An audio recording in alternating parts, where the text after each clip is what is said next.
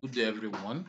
In this video today, I will show you how to upload multiple folders to Google Drive. So to do this, as you can see right here, my folder 1 and my folder 2. I'll be uploading these two folders. So if you have more folder, you can still do, follow the same step on how to do this. So firstly, open your Google Chrome or any browser on your PC. Then you log into your Gmail account. So when done logging into your Gmail account, the next thing for you to do is just to click on this Google app icon right here.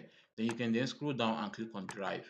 So when you click on Drive, it will open a new tab, which is one right here. So when it's finished loading, as you can see right here, here is the here is your Google Drive. So the next thing for you to do is just go to, to your desktop. Let's minimize this one right here. Then highlight the two folder you want to upload. If it's more than two, you can highlight those folder.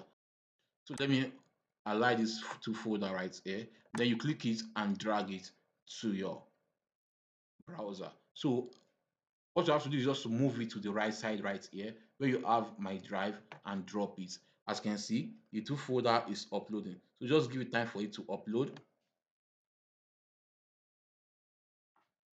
So right now, as you can see, the folder has been uploaded, which is my folder one and uh, my one and my two. So that's all to do this. Hope this video helped. Please give it a thumb up and don't forget to subscribe to our YouTube channel.